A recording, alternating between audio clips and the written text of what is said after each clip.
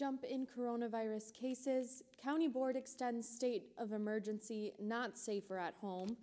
Driver airlifted to freighter following rollover. These and other local stories are coming up on this edition of Community News Review. This is Community News Review, a service of WSCS TV, news content provided by WHBL.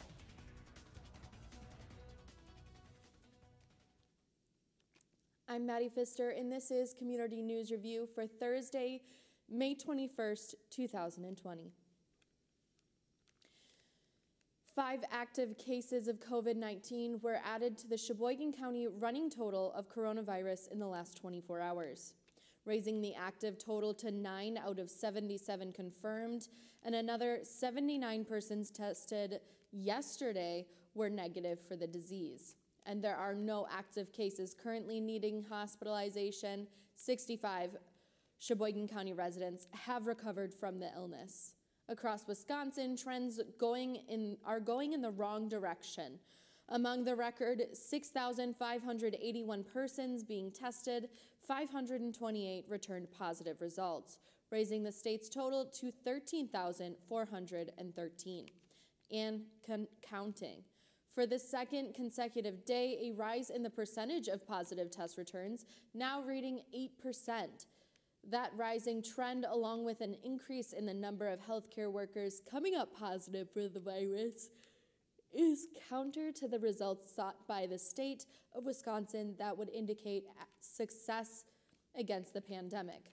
14 more persons in, in the state have died of COVID 19 since yesterday. The Sheboygan County Board late last night extended the county's state of emergency, a measure that does not extend the governor's safer at home order, but that does keep the county prepared for the changing face of the ongoing pandemic. Resolution number one, and it's known passed 20 to 5 after being amended to affirm the safer at home is a thing of the past, and no new orders or restrictions are imposed on individuals, churches, businesses, or community activities. The resolution does support the reopening of businesses, nonprofits, and other facilities that are open to the public. And should a surge in COVID 19 cases overwhelm hospital, hospital resources, the county public health officer will be authorized to take measures needed to control the coronavirus. Those measures can include restrictions similar to those imposed in the statewide in March.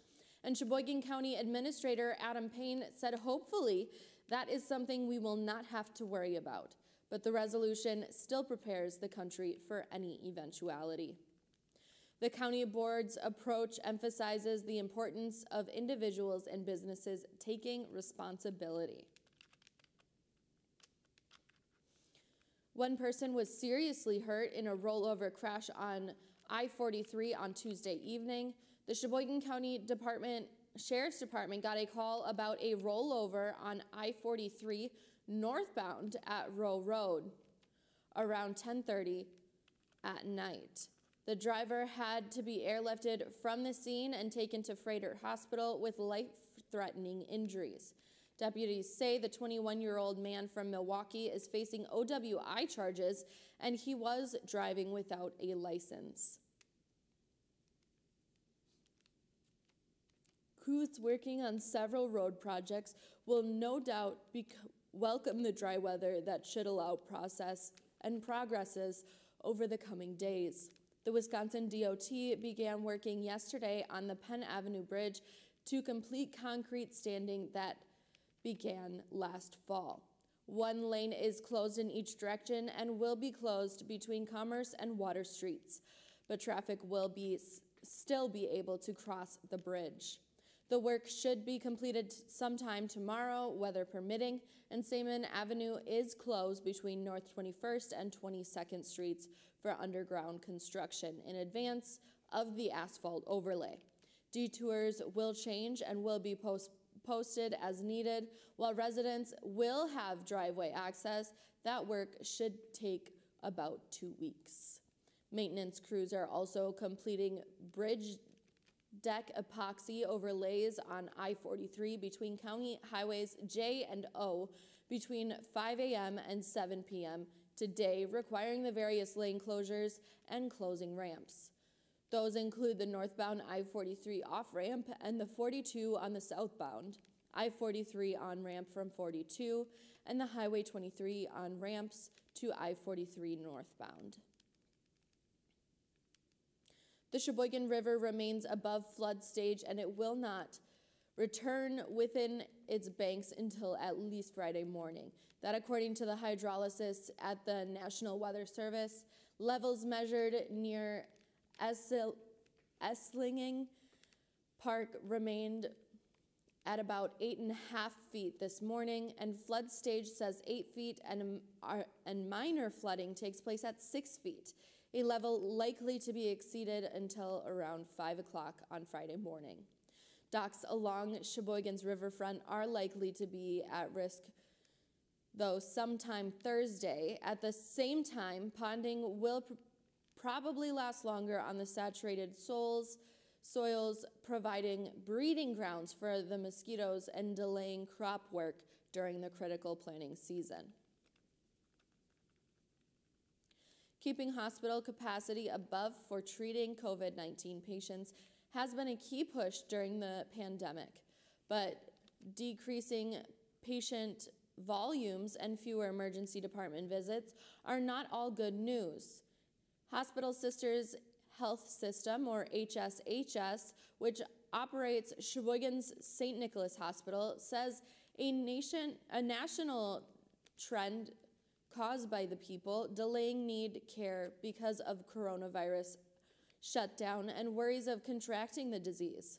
Dr. Kyle McCarty, an American medicine physician, physician with HSHS hospitals, says people should never forego or delay in emergency medical care, even in the middle of a pandemic.